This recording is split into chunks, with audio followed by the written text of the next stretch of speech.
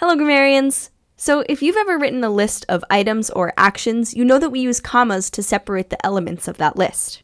Sometimes, though, our lists get a bit complicated and we have something called a complex list. And when that's the case, instead of commas, we use semicolons.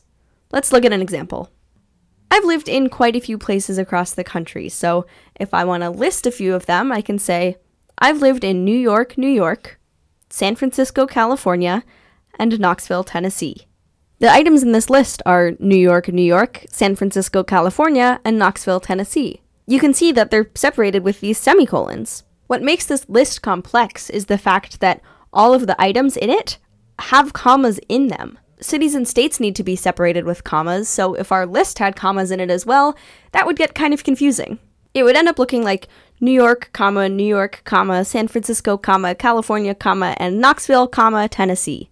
This has a pretty high chance of being misunderstood. It could look like I'm saying I've lived in New York, a place called New York, San Francisco, uh, just California in general, and Knoxville, Tennessee.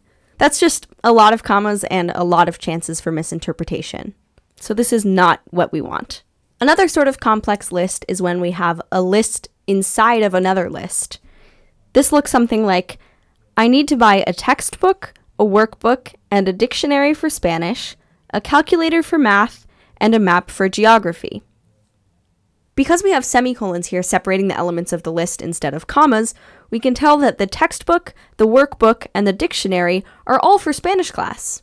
To get the same information across without using semicolons, we'd have to say something like, I need to buy a textbook for Spanish, comma, a workbook for Spanish, comma, a dictionary for Spanish, comma, a calculator for math, comma, and a map for geography. That sentence is way longer than it needs to be. We can condense it down to this much shorter sentence here by using semicolons in the place of the regular list commas. Because the semicolon is playing such a special role in the case of the complex list, sometimes it's referred to as a super comma.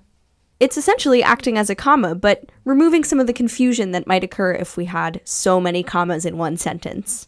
That's semicolons in complex lists, when we have a list inside of another list, or elements in a list that already have commas in them, we use semicolons to separate all the elements to make sure the sentence is extra clear.